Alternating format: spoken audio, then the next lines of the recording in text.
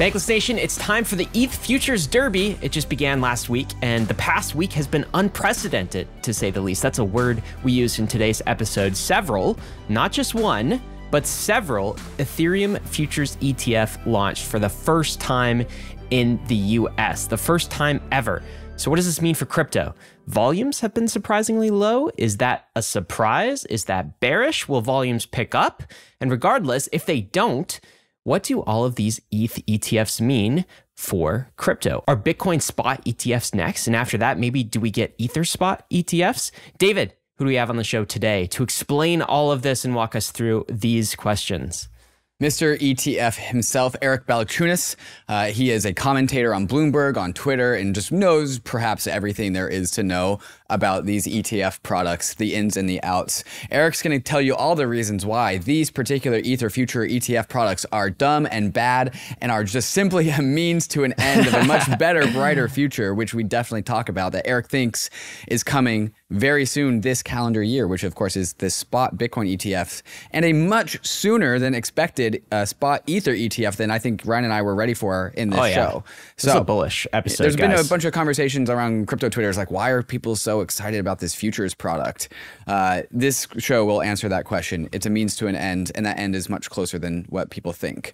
Meanwhile, while you are getting educated about the spot Bitcoin and Ether futures ETF and all that shenanigans, there's another way to get educated, which is the A16 Z Startup School. Uh, just drop out of wherever school you're. If you're in college, you're getting MBA, just drop out. Uh, and apply to the A16Z Startup School. You'll get some real experience. Uh, what is the A16Z Startup School? It is a place for crypto founders to become founders. It is an accelerator program to get your idea, your crypto idea, bootstrapped. It's a 12 week in person school in London. March 27th through June 11th in London, in Britain. Uh, and so this is going to get you your first leg up into the world of crypto. Once you are through the A16Z Startup School, if you are accepted, you'll just be slingshotted into the world of uh, seed stage ventures, and you can start becoming a founder and building the first product in crypto. Put it on your builder hat at the A16Z Startup School. There is a link in the show notes. Uh, deadline to apply, October 20th. That is soon. You do not have too much time after hearing this message, so click the link in the show notes. I should specify, you guys don't actually have to drop out of school. That's a, you know not necessary, but Be pretty this cool. is this is probably a more useful school than the, the school you're, you're you're going to now if if you are in school. David, why is this episode so significant? Why are we spending the time on Bankless, which is a program about mm-hmm. crypto? I thought we were escaping the banks here, David. Right. Why are we spending time talking about an Ether futures ETF and the broader implications of that? Eric really said it well. These products are a bridge, a bridge from the crypto protocols to the world of TradFi. Why do we want that? Well, in my mind, this is a winning of a thumb war for the crypto side of things.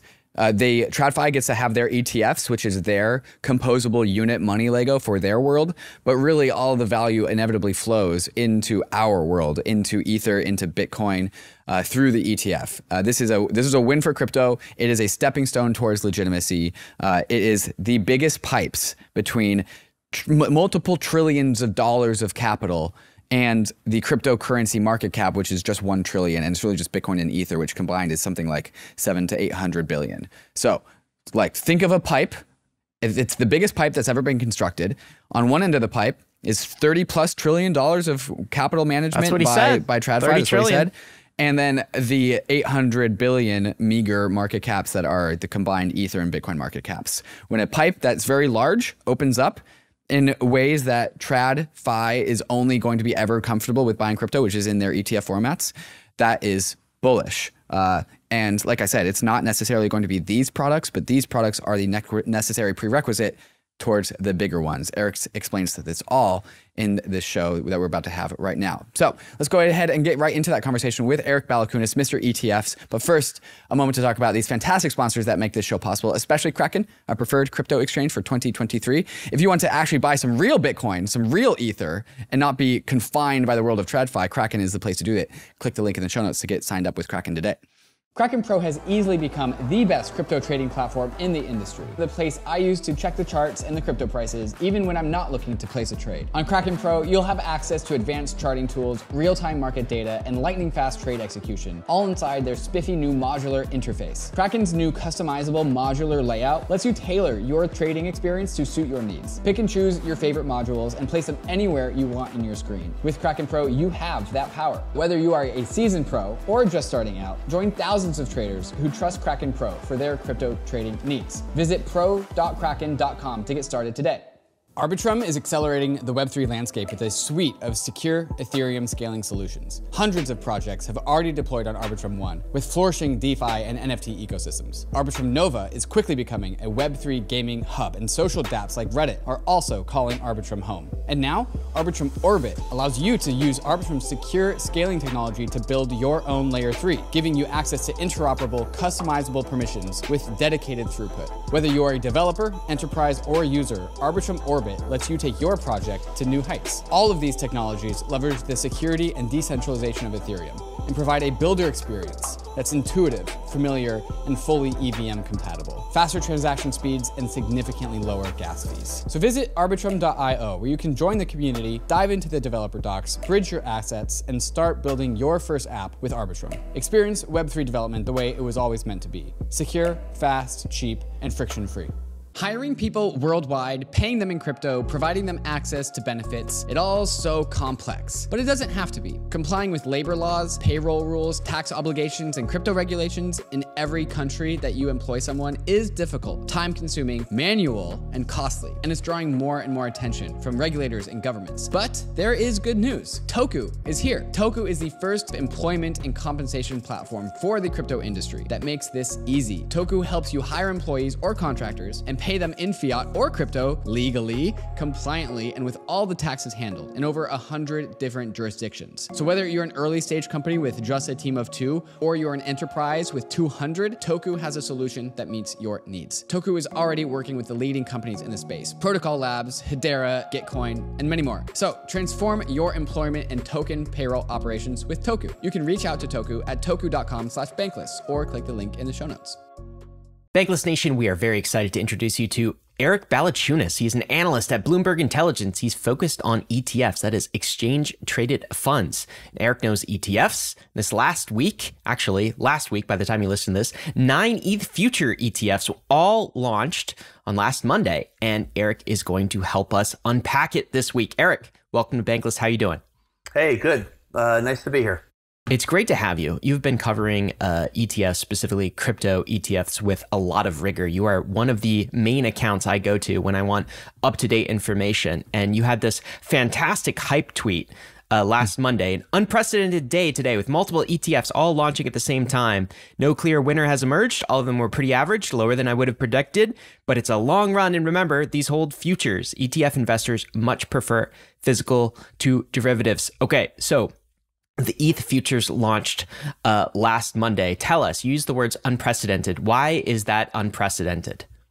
Right. So there's been many ETF. There's 3,200 ETFs and change, something like that. And um, there's been many launches. There was a gold launch. There's been oil futures ETFs. So it's not so much that it's a ether or futures that's unprecedented. What's unprecedented is the SEC approving many at the same time. Normally in the ETF world, when you file determines when you get out. There's like a protocol to that. And the SEC, for the first time ever, broke from that. And we have heard back channel that the reason they did this is because um, remember the ProShares Bitcoin futures ETF launched two years ago. It had like a three day head start on the rest, and it has like 97% of all the volume of its peers and 94% of the assets. So I think the SEC wanted to eliminate that what we call first mover advantage because they didn't want to sort of like give one ETF uh, that that sort of I don't know. It's almost like playing kingmaker. Although in the ETH futures category, there's not a ton of assets, so it's not like you're going to become a king. But obviously, having them all out at the same time is interesting to us, and because it is unprecedented, and a foreshadow for the main event, which would be the spot Bitcoin race, where we do think they'll also let many issuers out at once. When you have many issuers out at once, it puts a lot of pressure on marketing. And uh, maybe fee and other variables uh, when you're not first out. So that's why we've seen a little jockeying from like VanEck, who has a lower fee. Also, they've said they're going to donate 10% of the profits to charity. They've had some commercials. Um, Bitwise kind of coming out and saying, you know, we're more crypto native. That's our thing. And then ProShares, you know, probably saying, I haven't seen them do too much marketing yet, but obviously uh, my guess is they're trying to tap their current BITO clients because they've already got that as a major hit product. So all of them are trying to play to their advantages. And it's just interesting to see who will win because generally in an ETF category, there's really only one stud liquid, uh, you know, ETF that uh, has the majority of the volume. And when you have the majority of the volume, it's a good place to be because uh, you you have pricing power.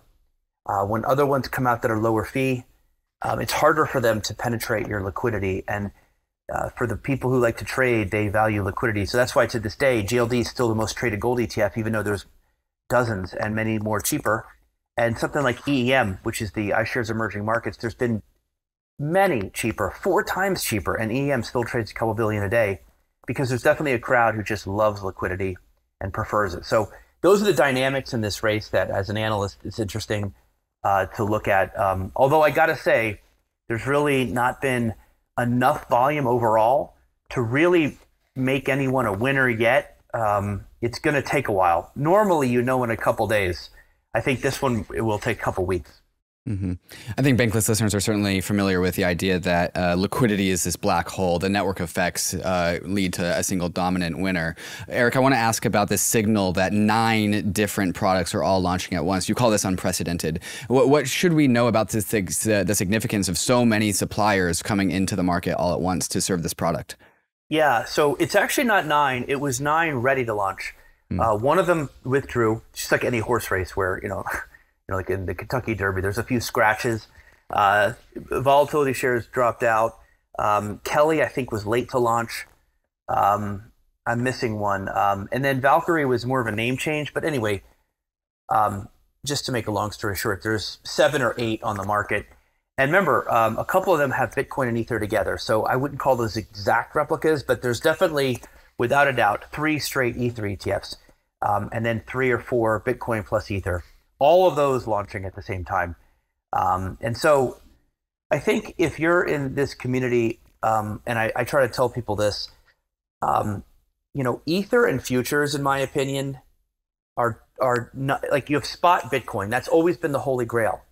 So this is neither of those. This is not Bitcoin. It's Ether, which to me, from my point of view, you guys may differ from the in the crypto world, and Matt Hougan thinks Ether is going to be bigger than than Bitcoin. But to me, it's like the no-name opening band before the headliner. You know, you go to see a band and like you're like, uh, you know. I'm sure it's like that for a lot of institutions too. To be fair, right, right now, right? Right. Yeah, this is the band you just talk to your friend through and just you know you just okay, let's get through it and let, let okay. And then when your band, the regular band comes on that you came to see, you go crazy. Um, and I think that's what this feels like. It's just like a eh, opening event. And other the other thing is, not only is Bitcoin, I think, way more um, I- interesting to casual people. But the, the idea that it's spot, there's something about derivatives that's like spraying advisor repellent on the ETF. They don't like ETFs that hold futures contracts. Um, it came. It really comes from a history of ETFs when there was like natural gas and oil futures ETFs. There's certain commodities where you can't do spot because like if you did an oil, you can an oil spot ETF would require the ETF issuer storing barrels of oil in a warehouse, and the oil goes bad, it's dangerous, it stinks. Um, you can't do it. Just like you can't do spot corn. Uh, you could do spot gold. Just you have to think to yourself, could I actually store this in a warehouse? How hard mm. is hmm. that? And if it, you know, gold, silver, palladium, platinum, you can do that, but not with uh, oil, natural gas. In the case of oil, going from one month futures contract and then selling it and buying the next month out before that one expires. That's called rolling. That can cost you 20, 30% in the oil market. So USO and UNG have burned advisors. So they have this once bitten, mm-hmm. twice bitten, three times shy kind of thing with using futures ETFs. So that's why I don't put, I don't, I, I was, you know, I had already sort of lowered my expectations because they're futures. That said, I just think you should the crypto world should look at all of these as bridges to the advisory world and traditional finance. And it's going to facilitate some traffic because Bitwise has salespeople, ProShares has salespeople.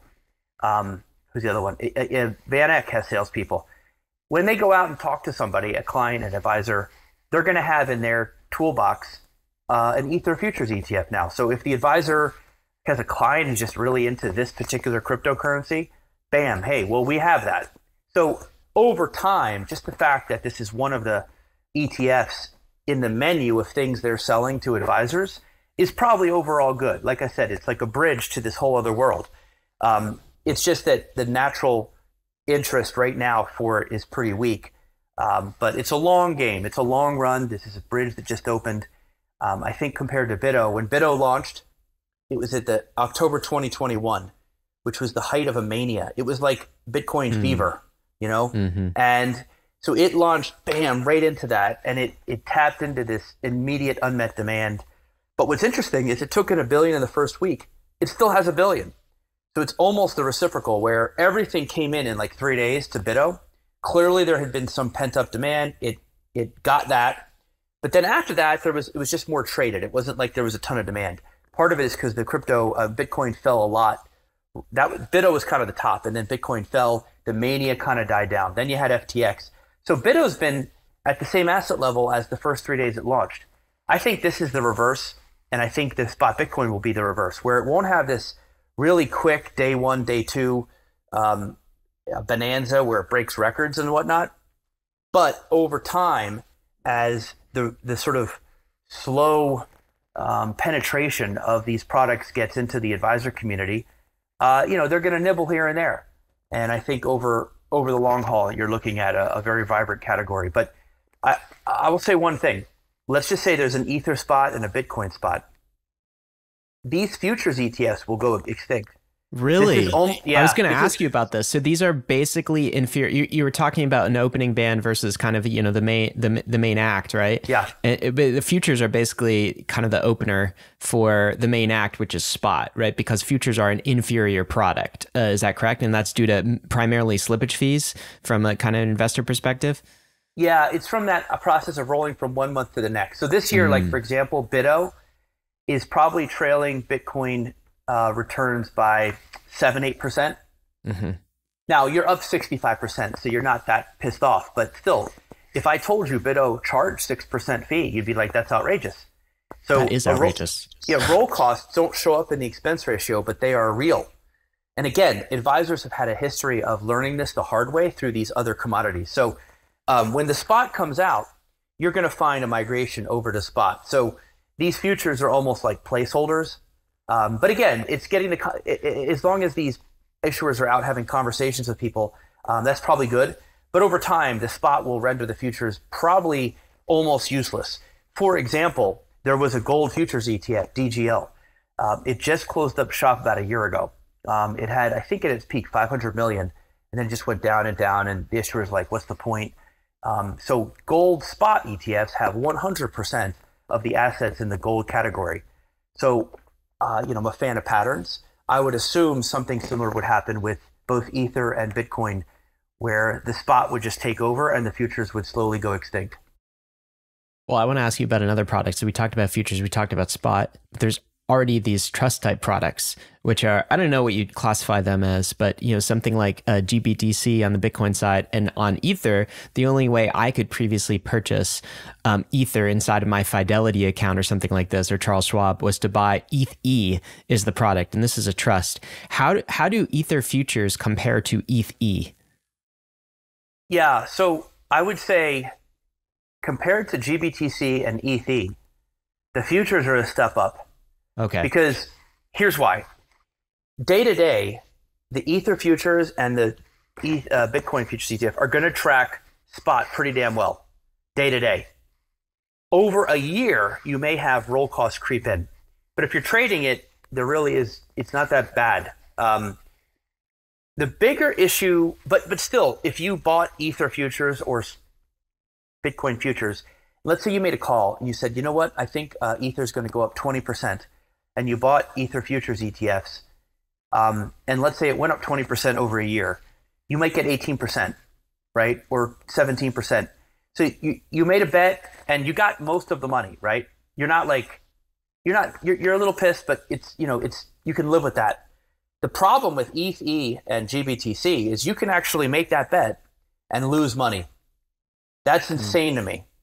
That is going to leave a real nasty taste in investors' It's a stupid product, right? It's like it, it, just, yes, it doesn't make broken. sense. It's broken. It, it's essentially the, the reason ETFs rule and have really swept the country is not just that they're low cost and they're liquid. It's it's that they're arbitrageable. So because you have hmm. creations mm. of shares and redemptions of shares every day, all day, there's like a two way street.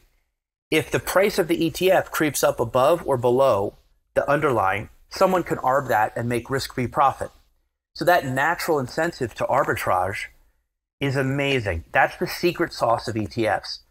And you don't have that in ETH and GBTC. These are simply a fixed amount of shares that was issued in a private trust that they allowed to trade over the counter. So you cannot go and create new shares or destroy them in the same way you can with an ETF.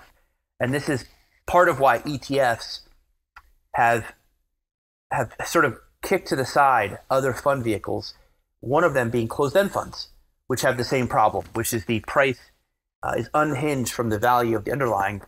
And I always tell people, like, you know, when the SEC didn't approve it, I was like, this is dumb. They should approve it immediately because even if Bitcoin goes down or up or sideways, uh, people are okay with that. They just want to, when they make a bet, they want the bet to be their bet, not some other variable. And so in the case of GBTC, I could point out a time where you had the bet right, but you lost money because of that discount that formed in GBTC, or you lost, or Bitcoin was down and you were down double. And that is really nasty, nasty mm-hmm. surprise. And so that's why I am a proponent and de- dedicated my career to ETFs is because I, I th- they have a great track record and they're just a, a good technology that just allows people to get a fair deal. Doesn't mean it's going to go up, obviously, it can go down, but at least you go down the same. Um, and there's no, like, there's nothing else there. Now, the futures ETFs, I could say, you do have that third element of roll costs, which is why we do consider those red light ETFs. To me, ETFs need uh, movie ratings, and there are some R rated ETFs, and I do put anything that rolls futures is rated R, which is so ironic because a spot Bitcoin ETF would be a green light rated PG ETF to me. Um, isn't that ironic? The SEC approved all these R-rated ETFs in our system, at least, and they even approved the double leveraged Bitcoin futures, which is like like that's almost like NC seventeen, right? and yet they won't approve the spot. So the whole thing is so silly, um, in my opinion. Um, and so this is why uh, the ETF is so coveted and desired. Um, and I yeah. think, you know, even for a crypto person and you can use your own wallet and stuff and that's great you should use it. But for a good you know giant massive investors especially uh, boomers and but even young people but anybody uses an advisor in particular etfs are the preferred vehicle because it's amazing track record of tracking the underlying well having very good tax efficiency and being you know low cost and i'll get that instant liquidity whenever you want it on exchanges. So um, that's why this is such a big deal to us is because you're sort of your marriage of two worlds, which is the sort of traditional finance boomer advisors and the crypto world. The ETF is sort of like the bridge that will unite them, um, and it's a good bridge. It's a sturdy bridge, and that's why I would. I'm a proponent of it since it's really the Winklevoss filing. I mean, we, we, we like it and we're fans of it, and I you know I think it's great. And uh, what's more, I, I will emphasize, I think it's a kind of a, a, retail crime that it wasn't approved earlier. When you got pro- products like GBTC and ETH that are trading either you know two three x of NAV or like below that. And right now, ETH is like 25% below that. And I don't even know what we're, we're betting on. That that has to be beyond an NC 17 rating. I don't even know what that is. It's just, uh, it's silly. It's movie. silly that we have those products. But let me ask one, one last question on this whole idea of this being unprecedented. Okay. So it was unprecedented because um, so many were launched at kind of the same time. The, the other, and I don't want to lose sight of this. I think this is important, or you, tell us, Eric. The other reason I think this is unprecedented is because, look, crypto has a lot of different assets. You know, go look at our long tail of assets beyond Bitcoin and Ether. All right, we we could name a whole bunch uh, for you, some of which you may have heard of, some of which you know no one's heard of.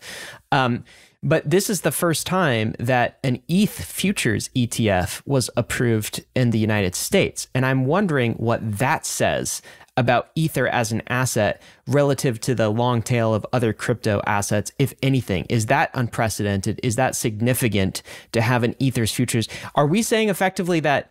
The SEC is saying, "Oh, it's not really a security, but yeah, like we can't I, say I, it's not a security." I get this a lot. I, I can't say I'm. Uh, this is my wheelhouse.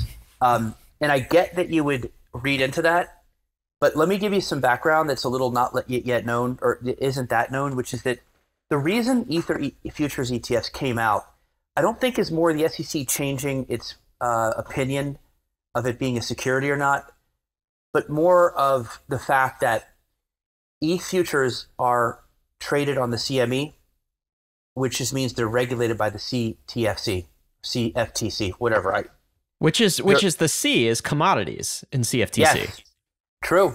So, but that's a whole nother issue. I will let the regulating analysts debate mm-hmm. that, but I don't think this was approved because of a change in whether ETH is security.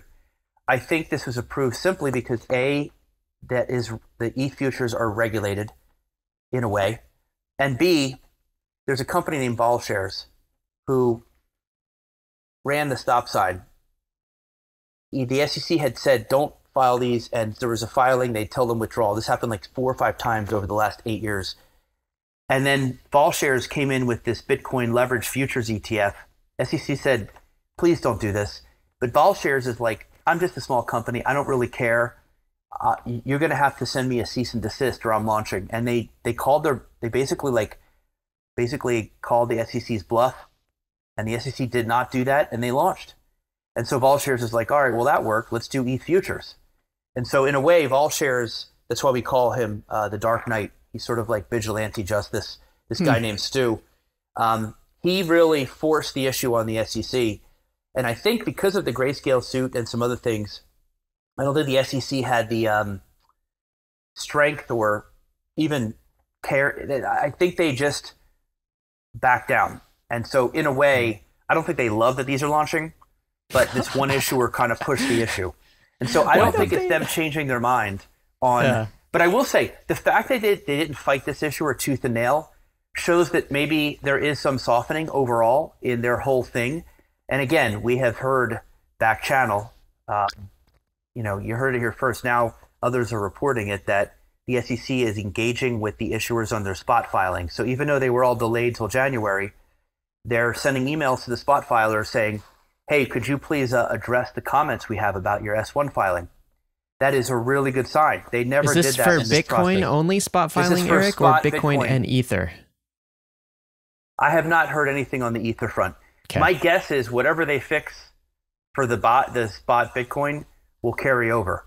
But my guess also is the SEC is probably going to be like, let's get Bitcoin done first, and then we'll look to Ether after. Do it, mm-hmm. you know, just do us a favor.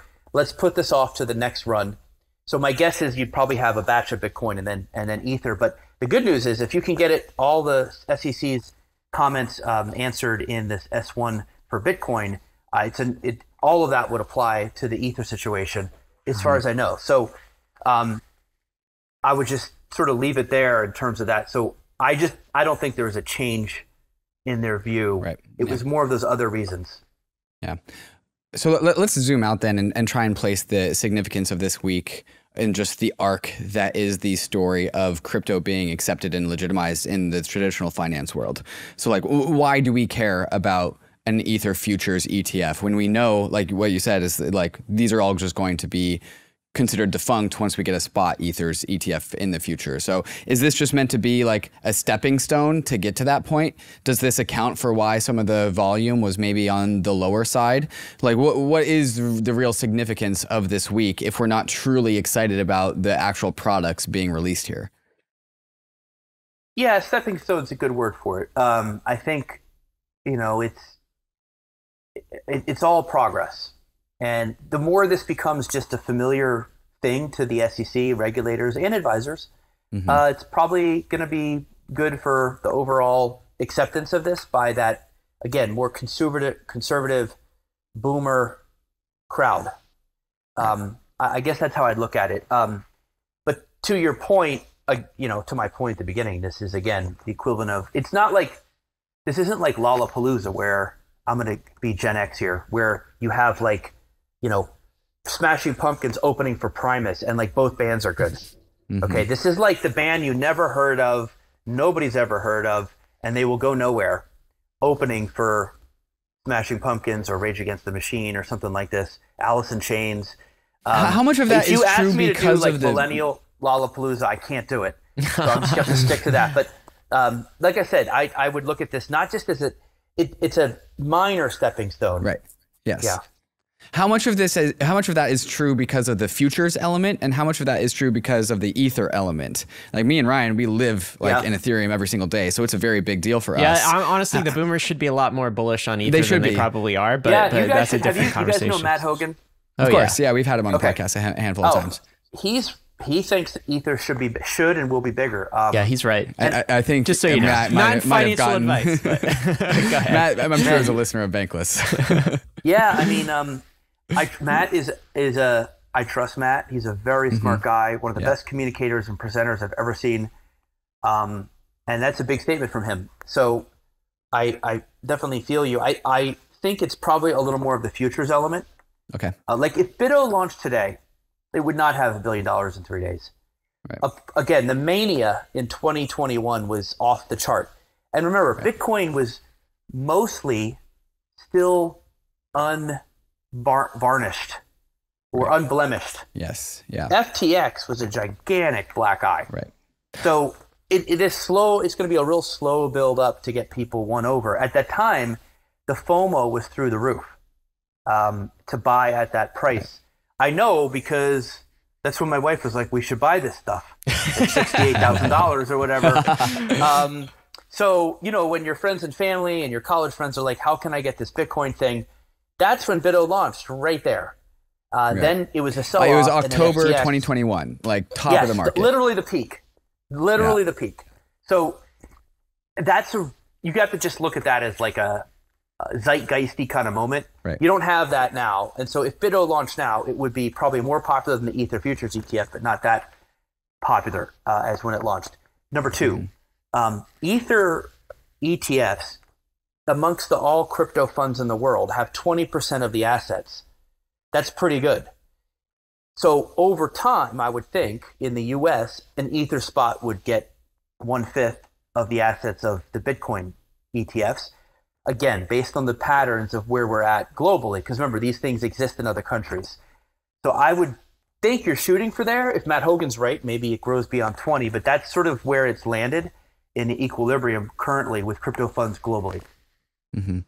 Okay, so really, I think the way that I interpret the significance of this whole thing is this is just an important stepping stone to get to the spot Bitcoin ETF and hopefully eventually the spot Ether ETF, which notably Grayscale did file to convert their trust into an ETF in the future. Assuming that these things happen, and I think one of the indications here is with the approval of a spot Ethers ETF, the eventual spot uh, excuse me, yeah, with the approval of a Ether futures ETF, the spot Ether ETF is inevitable in the fullness of time at some point, along with the spot Bitcoin ETF. And this is happening in the bear market, in the crypto bear market. Meanwhile, SBF is currently going on trial. And so we're kind of like cleaning our past up a little bit. Uh, the significance for all of this, I think, will eventually culminate when crypto has some resurgence in price action, retained, regained some favor in the zeitgeist, and all of a sudden the price action of crypto assets now has bigger, much bigger pipes. Uh, to actually paint some big green candles when that when that inevitable like favor is regained by the crypto world in the future. That's kind of how I'm interpreting this.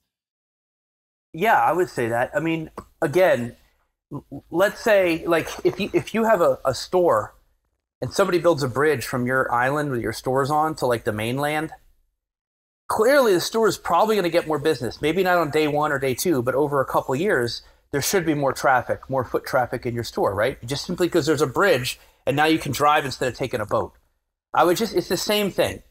You know, the inverse relationship I use to this is iTunes. um, I don't know if, if I'm probably dating myself at this point, or I could date myself even more with my band names. um, remember on iTunes, like the Beatles held out for a while, Uh-huh. and they're when they finally went on iTunes, all their albums went to number one, right? Because there was a lot of people there, namely younger people, who would who were like, "Oh, okay, I'll check the Beatles out now," simply because they're in the format I listen to. Right. Whereas they're not going to go buy a new Beatles CD or album. Mm. And it's almost the inverse, where there's a lot of older investors, uh, but advisors in particular, where once you put it in the format they love and know, uh, they're much more likely to take a nibble at it or use it as an asset allocation. Like, I don't think advisors would use gold at all if it weren't for GLD. they're just they're not going to go buy gold bars and store them. Just be like, yeah, to hell with it. We'll find something correlated. So this is similar to that. Um, there's a lot to be said for putting something where the people want it, um, and uh, the bridge is the best thing I can think of. But um, you know, I would look for um, three, four years to get to this, you know, big boy asset place that gold is, where you've got tens of billions. GBTC has 20 billion, so I think a lot of that's up for grabs. That's 20, and then you have maybe some new assets. And I do think over time, um, boomer advisors are undergoing a real uh, issue that concerns them, which is the generational transfer. So like they have a lot of clients who are 75, 80. And remember, boomers have like almost all the money in America. I think they have like 80% of all the wealth. Mm.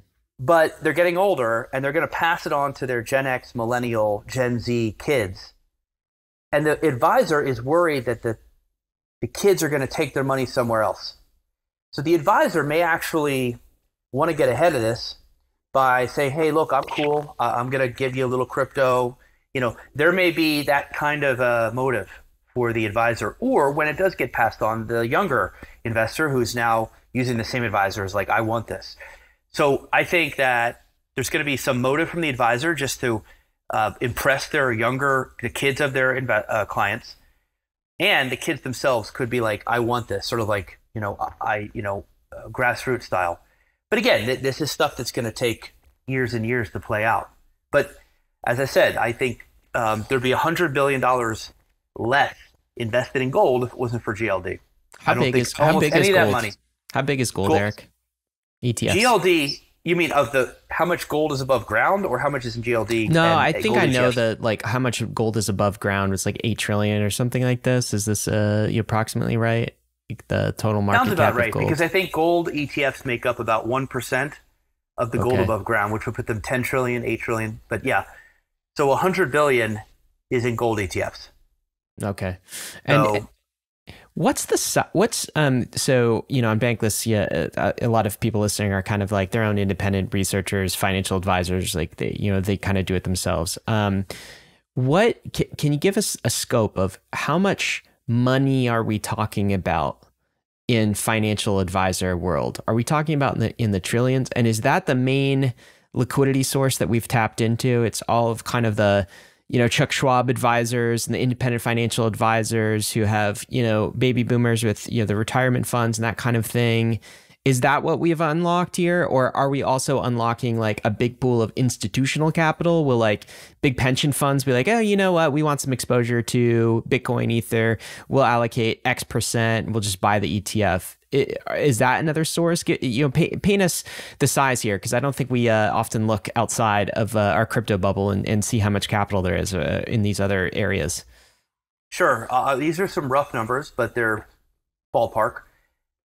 Okay, so first of all, if you look at the who owns ETFs, advisors probably make up 70, 75% of the ETF investors. Okay. Like they're the main player that uses ETFs. Institutions probably 10% and do it yourself retail 15%, something like that. Hmm. So I would say that's what you're opening up. So advisors have 30 trillion in assets and they love ETFs. Thirty that's trillion in assets that they manage do. on behalf Mhm. of uh, primarily America, right? So this is U- U.S. That's in America. advisors. I'm telling you, thirty these- these- trillion? Yeah, because once you get money in this life, I'm not sure where you guys are at, but once you get like a bunch of stuff, you kind of less kinda less than to go- last year. yeah, probably. Um, you know, th- these rich boomers have like they want to do estate planning. They hate taxes. How can I pay less taxes? They have all this stuff going on, right? So that and they have all the money. So the advisors are managing their money. So that that's massive, right? That's why although the crypto trade publication, one of them sort of mutated my words and said $30 trillion coming for Bitcoin. And I was like, no, no, no. Maybe 0.5% of the 30 trillion is coming, which is about 150 still a lot. billion. That's a That's still 150 billion, yeah. So that is a lot. Now, if there's one spot Bitcoin ETF that gets liquid, that will attract institutions. Institutions can get a lot of this on their own. They'll call up like BlackRock and just be like, hey, just make me a Bitcoin account or whatever. But the one thing that institutions cannot get anywhere else is liquidity. And so institutions love really liquid ETFs like GLD, SPY, because they don't have to call anybody. They can get in and out without impacting the market. ETF trading is anonymous. Nobody knows they're there. And you don't have to call anybody. There's no contracts. It's just very easy, free. And in a crisis, they know the ETF will be liquid. They can get out. And so there will be institutions who will use the number one or number two, top two most liquid ones. And if you look at the holders of SPY and GLD, it's full of pensions, endowments, insurance companies, um, high level hedge funds. Bridgewater is the biggest hedge fund in the world. It famously uses EEM, SPY, uh, even dabbles in stuff like um, some of the sectors. So that is the institutional element will be in the biggest traded one. Um, and then the retail investors, I think what they're going to come into is they may like to trade this, but what they like adrenaline. So when this 2x spot comes out, that's probably what they're going to hit up. Retail loves leveraged. They want to feel something, and Bitcoin probably won't even be volatile enough for them. So they're going to wait till the 2x comes out and be like, okay, yeah, this is good. 10, 20% in a day. That's what I'm looking for. Yeah, so for, I can't believe I didn't know that there are two X uh, crypto ETFs that are on the on the potential menu here. Yeah, I mean, BitX, by the way, BitX has 50 million already. So Oh wow. um, that that's a good sign. No, 30 million, sorry. But it charges 1.8%, which is a lot. But if you look at the uh, volatility on it, I mean, I'll just give you a, if you want the vol, it's so it's 77% volatility so far. Uh, for for context, the S&P 500 is Less than probably that. 20, Yeah. 12, 12. So S&P 500 is 12%. Nice Bitto is X more. 77. Okay. That essentially means that there's a two thirds chance that in one year the S&P will be up or down 12%. Bit, uh, what BitX is saying is there's a two thirds chance it'll be up 77% or down 77%. I could see that. And that, that, that kind of volatility is very attractive to the retail crowd, uh, the, the sort of Robin Hood types, which is why like the triple leverage Qs, TQQQ, and SQQQ are frequently in the top five most traded ETFs every day. They trade as much as like Microsoft stock. So I think a spot, a double leverage spot Bitcoin ETF probably will be the will have this other appeal. So those are typically how those different player types invest. The advisor will go for the BlackRock and the cheap, right, long term. The institution will want the most liquid one, regardless of fee, and the retail crowd will probably wait for the one that has the most jacked up vol. really Love good it. insight. Wow. Love it. Looking back at my uh, previous self when I was buying uh, equities, I can definitely resonate with the people playing with the two. I, I think I had like the 2x semiconductor ETF. And like, yeah, that one was a wild ride. right, like like semis aren't enough. Like that's pretty. Uh-huh. That's like semis alone are double, triple the vol of the S and P, but you need double. See, I call this the hot sauce bucket. Most mm-hmm. people Yes. these days have a hot sauce bucket. Even conservative people, they have like their retirement account, which is like, okay, just leave that over there. Right. It's uh-huh. good, it compounds, but it's boring as hell. Now let me take 10, 15% and go absolutely wild. Yeah. And that's where I think this crypto ETF would live for the retail crowd. Oh my that- God, there's got to be so much product market fit with the retail crowd. Yeah, that's so fun. Because, because, uh, yeah, as crypto investors, Bitcoin and Ether are like our most boring assets. Yeah, and, they're real And then we have a hot sauce bucket with some pretty wild That's, stuff. that is hilarious. It's all relative, I guess. yeah, Yeah. it's, it's all fra- it's relative. fractals. Yeah. Eric, this has all just been super informative. There are a few more things that we need to tie off this conversation about, just mainly the predictions, I would say. Uh, the predictions about Bitcoin ETF, the spot Bitcoin ETF. And look, what about the spot Ether ETF? Can we start being like, can we start anticipating that? Uh, so we're going to ask these questions and more in the second half of the show. But first, a moment to talk about these fantastic sponsors that make the show possible, especially MetaMask Portfolio. If you use MetaMask, I'm sure you do. You should probably open up MetaMask Portfolio. It's a cool new way to use MetaMask. There's a link in the show notes to get started. Let's go hear from them. MetaMask Portfolio is your one-stop shop to manage your crypto assets and to tap into DeFi all in one place. And the most important part of that experience, buying crypto, obviously, MetaMask Portfolio's buy feature enables you to purchase crypto easily without going through centralized exchanges. Designed with you in mind, you can fund your wallet directly in just a few clicks with convenience and simplicity. What happens when you press the buy button? Rather than being limited to a single payment provider, MetaMask brings together a bunch of vetted, trustworthy providers to present you with customized quotes for your crypto purchase. Once you've funded your wallet, you'll be able to plug into DeFi with all the money verbs like swapping, bridging, and staking. But first things first, you need skin in the game. Head over to metamask.io slash portfolio to buy crypto the easy way.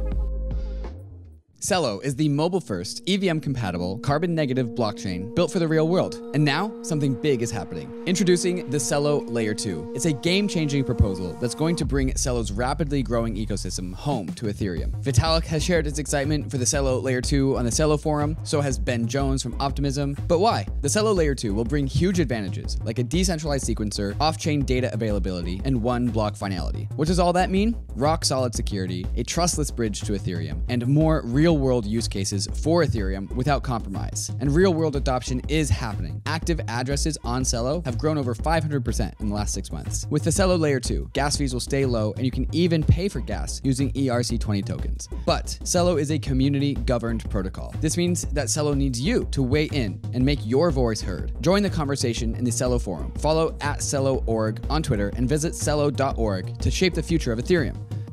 You know Uniswap, it's the world's largest decentralized exchange with over $1.4 trillion in trading volume. You know this because we talk about it endlessly on Bankless. It's Uniswap, but Uniswap is becoming so much more. Uniswap Labs just released the Uniswap mobile wallet for iOS, the newest, easiest way to trade tokens on the go. With the Uniswap wallet, you can easily create or import a new wallet, buy crypto on any available exchange with your debit card with extremely low fiat on ramp fees, and you can seamlessly swap on Mainnet, Polygon, Arbitrum, and Optimism. On the Uniswap mobile wallet, you can store and display your beautiful NFTs, and you can also explore Web3 with the in app search features, market leaderboards, and price charts, or use Wallet Connect to connect to any Web3 application. So you can now go directly to DeFi with the Uniswap mobile wallet. Safe, simple custody from the most trusted team in DeFi. Download the Uniswap wallet today on iOS. There's a link in the show notes. Eric, I want to talk about um, some timing predictions. If we can get that out of you, what does this mean for the timing or probability of the incoming spot Bitcoin ETF? Which should we start holding our breath for a spot Ether ETF, or is that too far out? Uh, just what, what does this? What, what, can we glean from the future of these uh, approvals? Okay, so uh, we are still James and I are still holding the line at 75% odds of approval this year. Of a spot Bitcoin ETF. Of a spot Bitcoin ETF. This year, year 2024 year. calendar year. No, yeah. 2023 calendar year, sorry. 2023. Yeah. And look, we've held this line when it was not cool. When they first, when the SEC delayed about six of them, mm-hmm. um, we, we, got dunked on even by crypto people. They're like, look at these, right. these guys were right. But we, we like to do that in the crypto world. We apologize. I know. Um, by the way, the whole Ether, it's funny because when the Ether futures launched, there's a couple times that in my replies there'd be a, a fight between a Bitcoin maxi and an Ether yeah, person. Yeah, yeah, yeah, I know. And sorry one, for that the, too. Yeah, sorry. The, the maxi was like, why should these even exist? The government's going to ban it.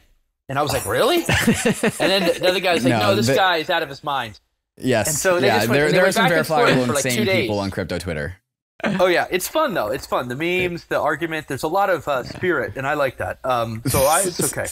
But yeah, there was a lot of. There's a couple ether haters, oh, yeah. um, who who when they, when these came out and they didn't have the volume they thought, there was a lot of dunking yeah, on that yeah, too. But anyway, it's it, it's the arena. It's what we call it. So the um, odds are still 75 percent, and I, I not only did we hear the SEC is from multiple sources that the SEC is working with the issuers, which again is it breaks the pattern. It shows they're willing. Gensler also had two moments where we thought they showed signs of weakness, where he said we had our anchor from Bloomberg TV ask him about this, and he said, "Well, the spot ETFs look they're they're in registry. I can't comment, but look, I'm only one of five commissioners. little old me.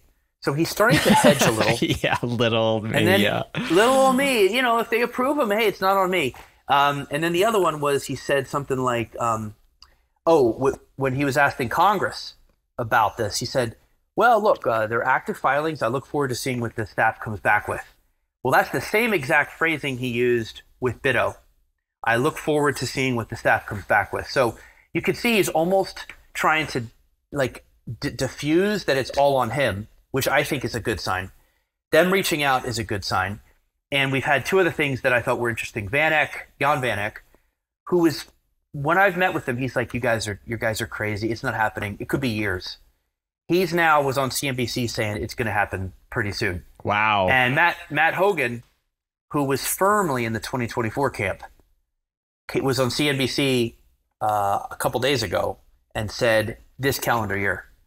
So I've seen two people shift forward. Cathie Hmm. Wood just said yesterday in a quote, "Odds are rising," and she was firmly in the 2024 camp. So Wow. it makes sense. All those people are issuers who got the email from the SEC, and the comments they're asking for are doable. They're fixable. They're not like anything crazy I've asked. So I think this is all very good. Um, that's why we're going to hold this year. That said, there's something in the back of my mind that thinks because of the holidays, it's, it, it could roll into like mid-January. I almost still think we deserve credit given how much we went on a limb and how much we hung there, because we're you know we're we're within a couple weeks. I'll still give us credit if it's by January 31st. But as we roll into the next year, our odds just go up and up. So that's sort of where we're at. Ether, in my opinion, I would expect that to be a month or two after Bitcoin, based on logic and the feel for how the SEC a month operates. or two after Bitcoin, you think we could have an Ether spot ETF? well, remember they're already filed, and there's been no withdrawals. the th- so the there's no difference reason- though here is Eric is uh, Gensler himself has very much not very much prevented himself, and he's been given ample opportunity to say that Ether is not a security, and he has not taken that um, He's opportunity deferred on that ever. answer. He's deferred. And he's he's conceded that Bitcoin is not a security, but he won't get there with Ether, which feels at least to crypto people kind of watching this that he's got something in for like for Ether, uh, his reluctance to say that, and that might put a wrench in the in the works here. Well, uh, fine. Again, remember this whole thing of like whether it's security is is I, I can't say I'm in the weeds as much on that in terms of I, I've heard that Congress ask him the, the Pokemon card question and stuff, and I, I can see that there's a lot of uh, people who who are debating this, but you have to understand that the the grayscale ruling said that your your, your main your, your main premise on declining Bitcoin spot was that it was manipulation and fraud, and so they threw that out. Hmm. That was their main reason for Etherfute. Like that, it wasn't like their problem with it was security or not. It was that. So that that's gone.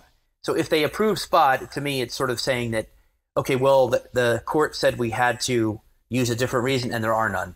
Hmm. Yeah, maybe it's possible that he says, look, we're about to go crazy on Ether, and we just don't feel comfortable approving an Ether spot. I, I guess it's possible. Um, I'd probably want to talk to James a little more about it. He's a little more in the weeds on this.